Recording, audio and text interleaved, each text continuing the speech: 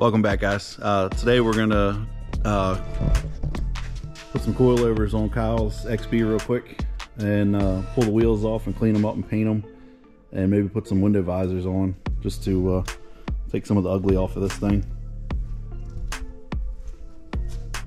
Here's a little before.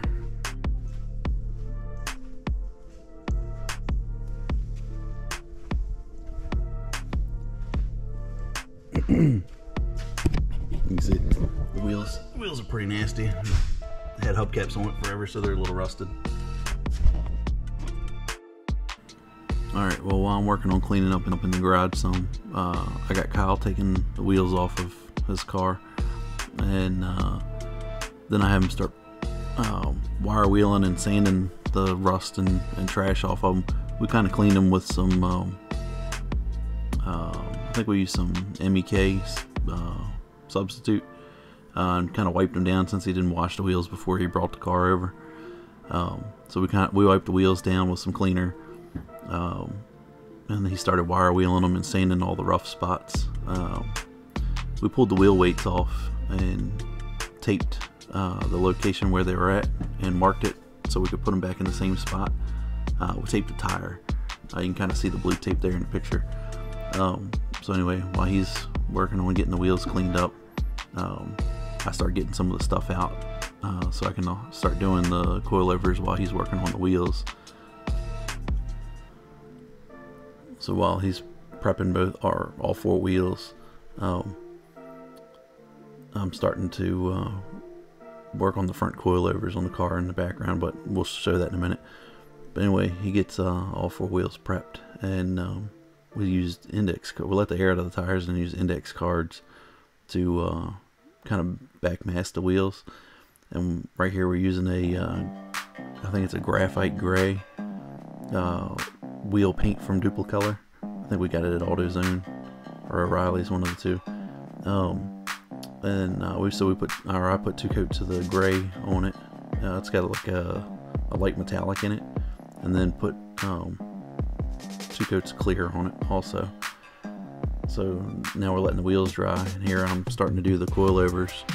Um, you know, we're not going to do a how-to on this because there's you know there's hundreds of how-tos how to do coilovers on an XB and, and specifically these Raceland coilovers. But uh, you know, the, the quick gist of it is I uh, take the two big bolts out of the bottom, undo the brake line, undo the ABS sensor uh, cable, and then go up top and take the three uh, nuts off the top of the strut, pull the strut out.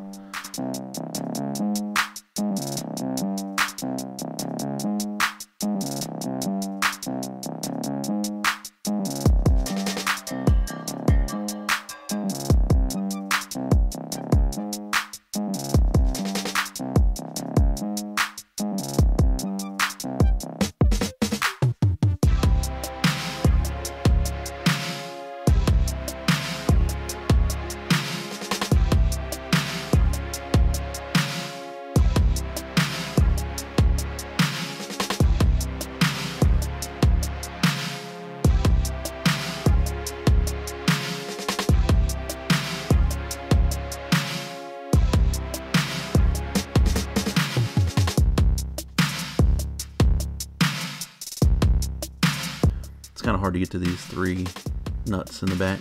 Um, an opening wrench can get to them.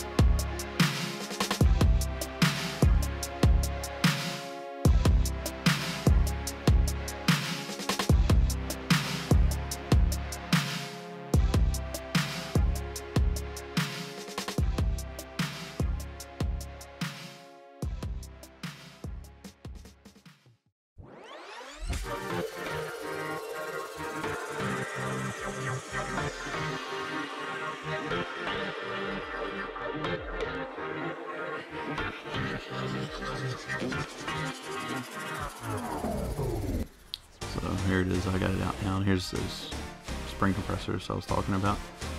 Um, I'm just gonna run these down with the impact and go ahead and pull that top head off.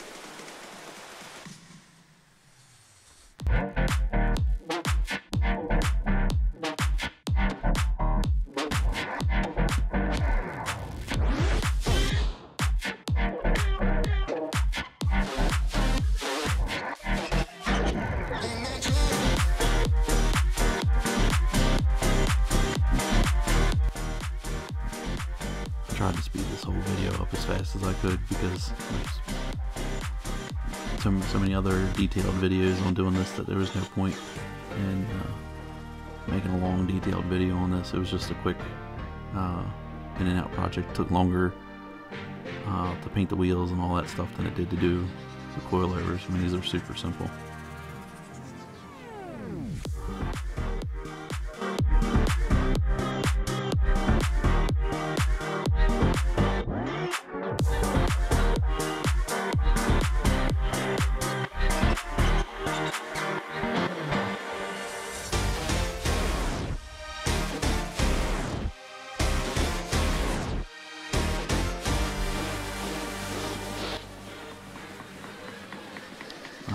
These Raceland coilovers, we went ahead and set them to the lowest setting um, in the front and rear. Um, we really need to raise the front back up on it um, after we set it down, but he wanted to ride around with it for a little bit and see how it rode and, and see if the rear would settle anymore. But when he came over last week, I think he needs to raise the front back up a little bit because it's it's about an inch lower in the front than it is in the rear. Uh, here we're taking back out. Uh, the factory shock got uh, double nuts on it at the top, and uh, so I had to get two wrenches to break them loose. I had to get a wrench so I could break both of them loose because I couldn't get I couldn't get them to come off.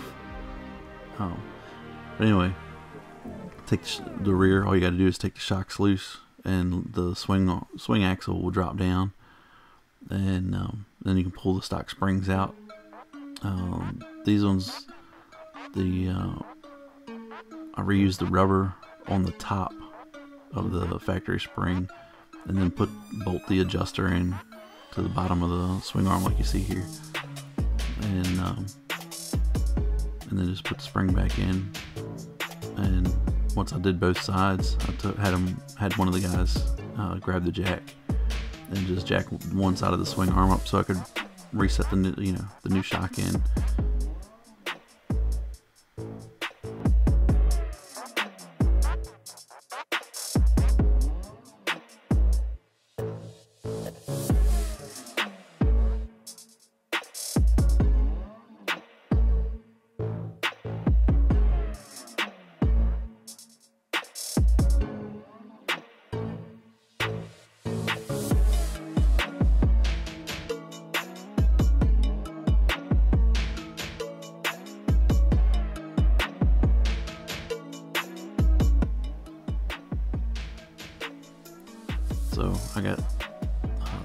Skippy's putting the nuts on the top of the shock while I'm holding it in from below. And now they're jacking the swing arm up on the other side so we can get this shock line back up. And we're moving to the other side. And uh, we're to do the same thing on this side. Move the jack to the other side. Put the shock in at the top.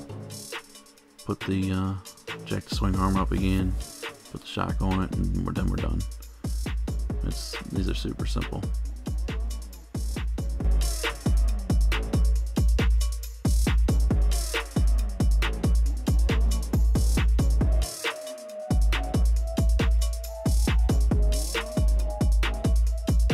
Here we're just tightening up, uh, tightening up the top of the shock before they just kind of hand started them.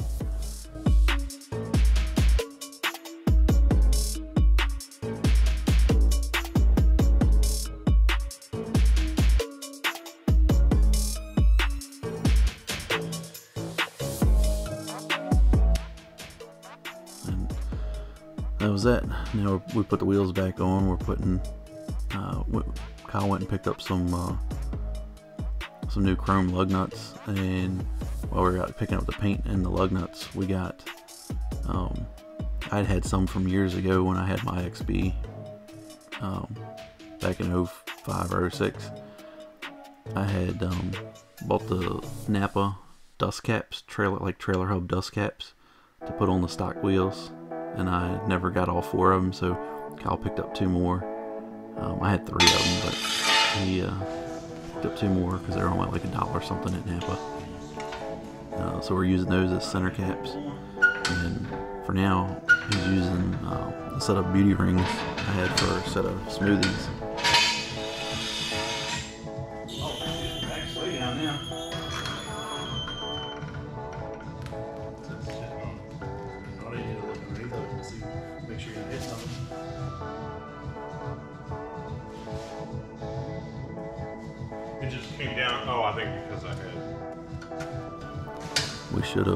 Put some 2x6s Make sure underneath the jack's tires on the jack. Stuck on her. Uh, right here, Kyle Now you can't pick it up. accidentally released the Now- jack and it bottomed it out on the bumper, pushed the handle down, so he couldn't jack it back up anymore. Uh, but luckily, the only thing that was getting caught on the jack was the bolt for the handle. So I had him pick up on the bumper lip a little bit and uh, pull the jack out from under it. But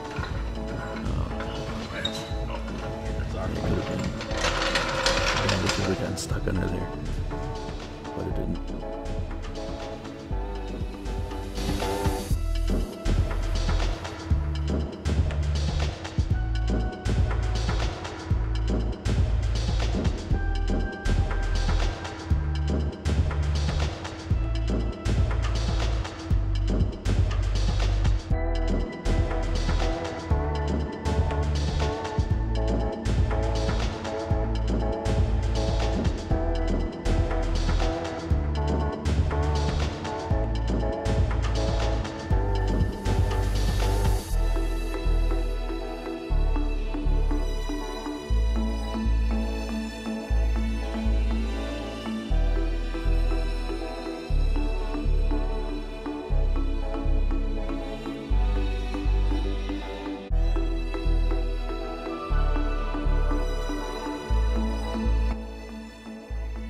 So here we polished up the rest of the beauty rings, uh, just because they've been sitting for a long time, so they're kind of dirty from uh, having you know grinder dust and stuff on them from sitting in the garage forever.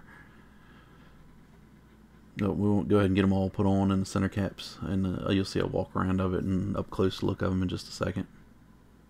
I thought we had uh, got some video of putting the window visors on, but apparently I must have forgot to turn the camera on. But he picked up a set of uh, cheap Amazon window visors that I can't remember the name of them, but they're they're styled after some like original, not original, but um, older um, Japanese styled ones for the that were for the BBs. Um, I had a, a similar set when uh, when I had mine years ago. But here's the wheels. So Kyle had put put these taillights and uh, some new headlights in this thing uh, a couple weeks ago, um, just because his factory headlights were real nasty looking. But anyway, uh, I think this thing looks way better with the wheels painted and the trim rings and caps and stuff on it and lowered. Um, but anyway, um, thanks for watching, and uh, hopefully y'all liked what you saw. This is a pretty cheap transformation. I think I think it might have cost them maybe 550 at the most for everything. The lo- coilovers, um, center caps, wheel paint, lug nuts, um, window visors. Um, is definitely a good bang for the buck for transformation. But anyway, uh, if you liked what you saw, uh, like and subscribe. Um, there'll be a lot more car stuff coming out more frequently. Um, and some more garage content too. But um, all right, thanks for watching. See you on the next one.